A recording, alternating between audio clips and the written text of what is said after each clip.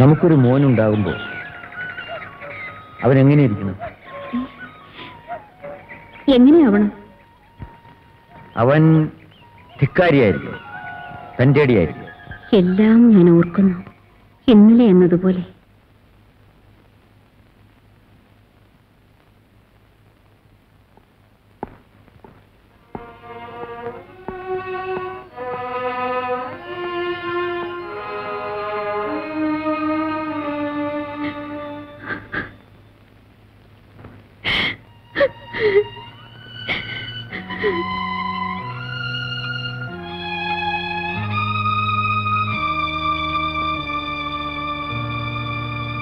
To give them the honor of Ten Commandments of life to anybody surface Hercules of the Department Cultivation of the Century. No other way to take. No, British Parliament is not No, correct no, the fundamental human rights of America. എടാ മത്തായി സാഹിബേ എടാ സാക്ഷി Mathai What? ഓഹോ ഇപ്പൊ കപ്പലിൽ നിന്ന് ഇറങ്ങിയുള്ളായിരിക്കും Who are you? നിന്റെ തന്ത അങ്ങനെ അറിയില്ലേ എന്താ ഡിയറി കുട്ടികൾ ടോക്സ് ചെയ്യുന്നത് എന്താ ഇദ്ദേഹം പറയുന്നത്? Touch ഓ ഇവന്റെ മട്ടും ഭാവം കണ്ടാ തോന്നും. ഇംഗ്ലണ്ടിൽ പോയി കപ്പലും കൊണ്ടാ വരുന്നതെന്ന്. ഇത് എവിടെ കിട്ടിയടായി കോൾ? നിന്റെ പെമ്പർന്നോർ ഇതിനകത്ത് എങ്ങനെ ഇറങ്ങിയടാ ദേ, എന്നെ പെമ്പർന്നവരെന്ന് വിളിക്കരുത്. എന്ത് കുന്തമാണ് അവളുടെ പേര്? ജൂതി എന്തോ?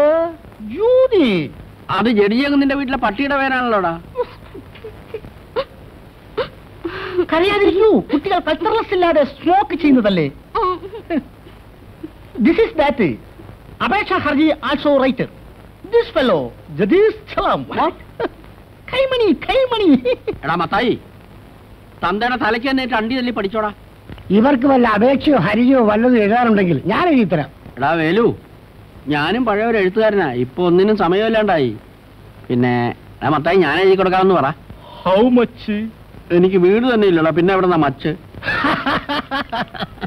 Dear customers hot look there go you go never mind order order you may proceed mister Raghuraman your honour സ്വന്തം അമ്മ അപമാനിക്കപ്പെടുന്നത് ഒരു മകനും നോക്കി നിൽക്കാൻ സാധ്യമല്ല. മരണപ്പെട്ട വിക്രമപിള്ളയെ അയാളുടെ ദുരുദ്ദേശത്തിൽ നിന്നും പിന്തിരിപ്പിക്കാനും വീട്ടിൽ നിന്ന് ഇറക്കിവിടാനും മാത്രമേ എന്റെ കക്ഷി ശ്രമിച്ചിട്ടുള്ളൂ. ക്രൂരനായ ആ മനുഷ്യൻ അവരുടെ ഏക സമ്പത്തായ കൊച്ചുകുടിലിന് തീവച്ചു അതിനുശേഷം സ്വാഭാവികമായും അടികലശലുണ്ടായി.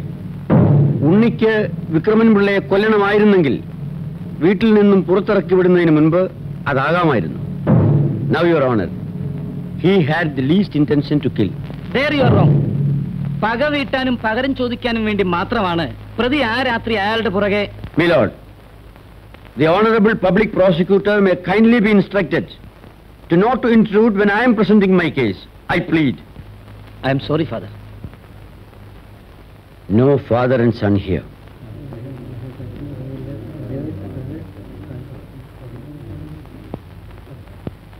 മരണം യാദൃശ്ചികമായിരുന്നു. അതൊരു കൊലപാതകമായിരുന്നില്ല. മരണപ്പെട്ട വിക്രമൻ പിള്ള സഹചാരികളുമൊത്ത് ആക്രമിക്കാൻ തയ്യാറായി വന്നതായിരുന്നു. ഉണ്ണിക്ക് അവരെ നേരിടേണ്ടി വന്നു. സ്വന്തം രക്ഷയ്ക്ക് വേണ്ടി. Death was an accident only എന്റെ കക്ഷി നിരപരാധിയാണ്. കോടതിയുടെ ദയവും സഹതാപവും മാത്രമാണ് എന്റെ കക്ഷി അർഹിക്കുന്നത്.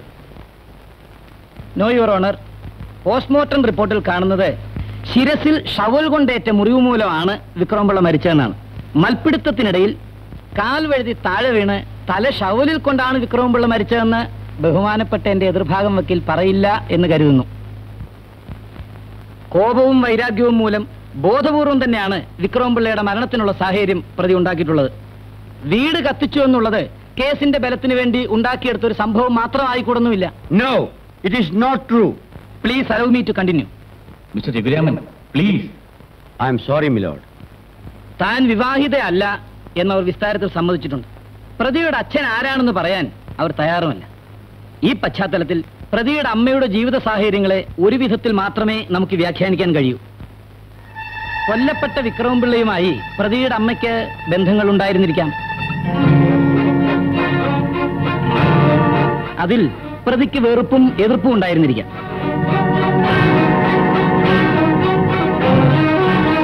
ആരറിഞ്ഞു കൊല്ലപ്പെട്ട വിക്രമപിള്ള തന്നെ അല്ല പ്രതിയുടെ അച്ഛനെന്ന്?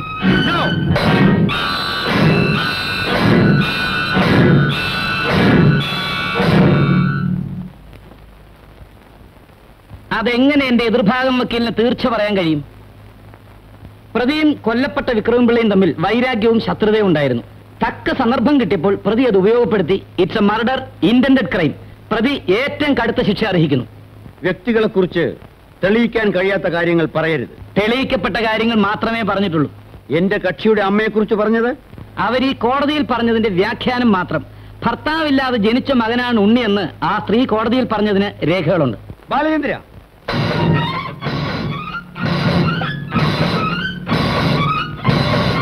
your honour mister Raghuraman. I'm sorry milord കോടതിയിൽ വ്യക്തികളില്ല കക്ഷികളെ ഉള്ളൂ. ബന്ധങ്ങളില്ല ന്യായങ്ങളെ ഉണ്ടാവും. മനസാക്ഷിയുടെ മുന്നിൽ സത്യങ്ങൾക്കേ പ്രസക്തിയുള്ളൂ.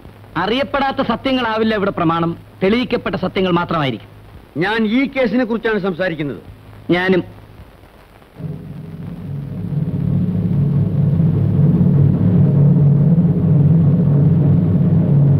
The court is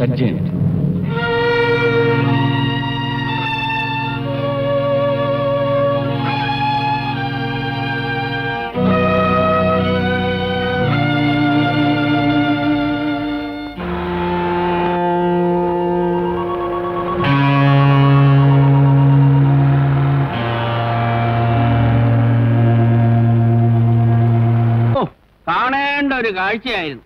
അച്ഛൻ ദേ ഇവിടെ. മകൻ ദേ ഇവിടെ.